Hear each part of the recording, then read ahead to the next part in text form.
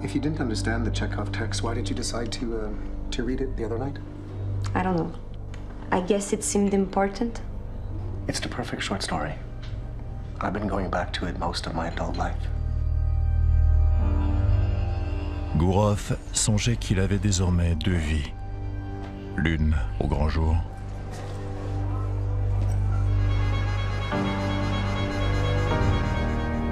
Une vie où le mensonge et la vérité faisaient partie de la convention.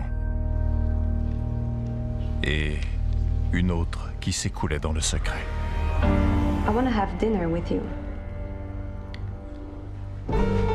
It's always been against my principles to uh, fraternize with the students.